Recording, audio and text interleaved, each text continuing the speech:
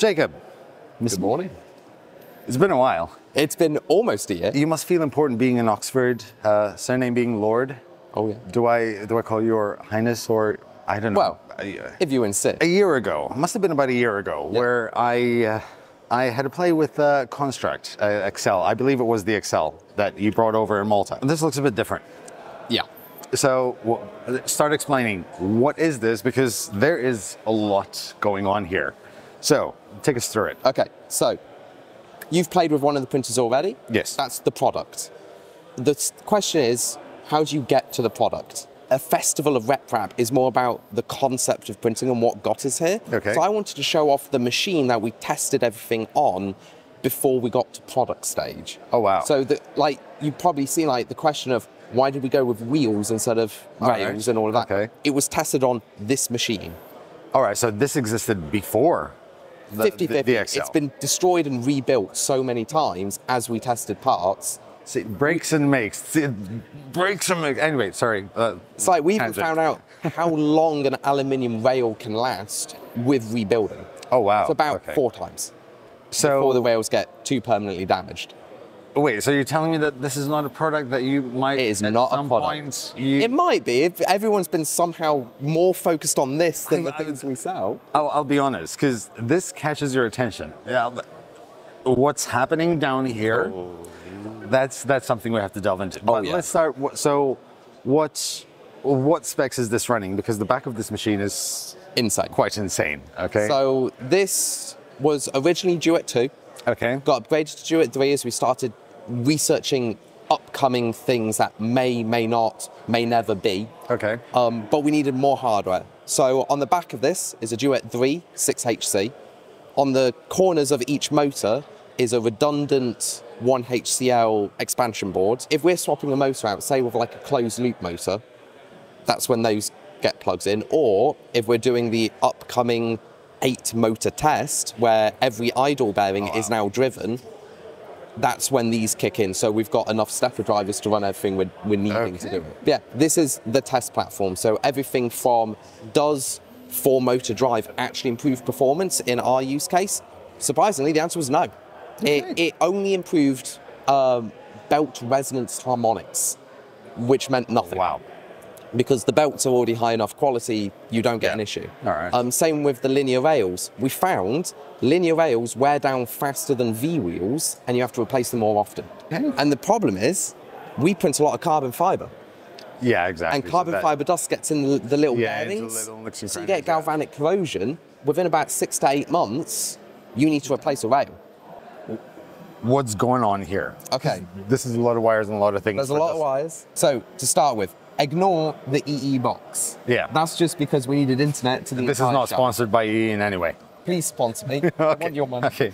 Um, so 6HCL, that runs the majority of the printer. okay. Um, the main benefit of that is the CAN, because we wanted Yeah. to attach things to it that we can just plug in, it works. Yeah. I don't need loads of Lots of wires and all. uh, Power supplies are in these lovely grey boxes. Okay. Um, but going underneath is where it really starts getting Okay. interesting. That is a Mellow Fly Super 5. I can never get the name right. Um, and the intention for that is because it works over CAN, it can do RepRap firmware, and it can do Klipper at the same time. Oh wow! You wow. can switch between them if you needed to. The benefit is if we can get what's underneath working on basically a Klipper motherboard, Okay. it works on both like ecosystems. Wow. Because what I want is for the filament changer to be a universal thing, not locked to a single company, not locked to a single machine. I want it to be a bolt-on upgrade for any other printer. Okay. Now, now, since you mentioned it, let's talk about this filament changer. So yeah, so hot swappable bays. Oh, you know what? We should, we should just, you know, let's just, There we let's just. Hot swappable bays. Okay. I've had to repair my AMS about three times just because I'm using really cheap filament. Okay. And as you probably know, it's a pain because it's the way they've manufactured it is very effective for not needing to repair it. Yeah. So when it goes wrong, it's a pain. Yeah. This is my solution to that to start with because I don't like pain. I like being lazy. And if I can undo the entire thing with two bolts and not have to worry about anything because I just brute force everything, Yeah. this is how I start it. So individual bays, hot swappable, magnetize, hopefully with pogo pins in the future, so it can actually fully come out. Did you just take that out while the, the filament was being used? Yes, but that's because they're not hot swappable yet.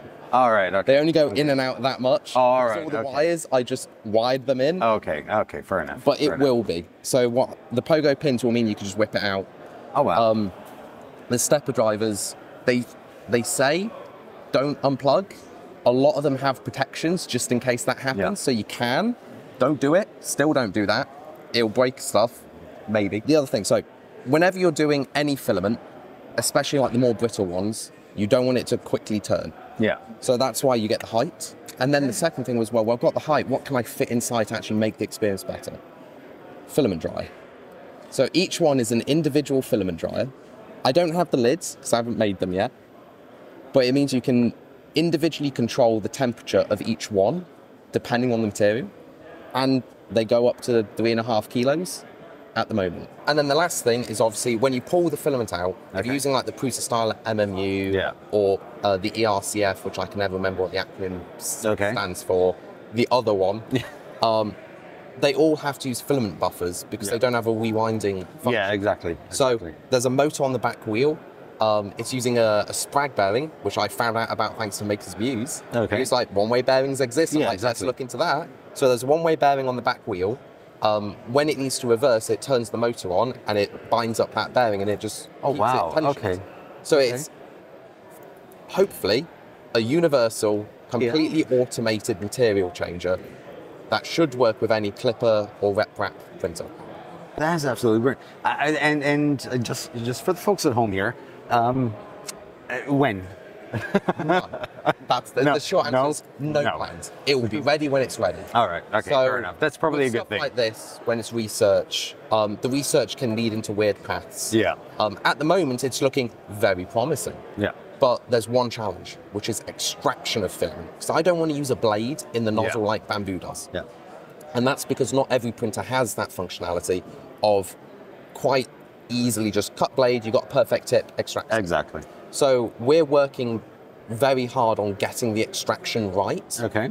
Because once you do that, and if you can generalize it, any printer can have Yeah, it. exactly. You don't need a special hot end. Yeah. And here's the other cool thing. So we've, I know I'm going to say a word you don't like.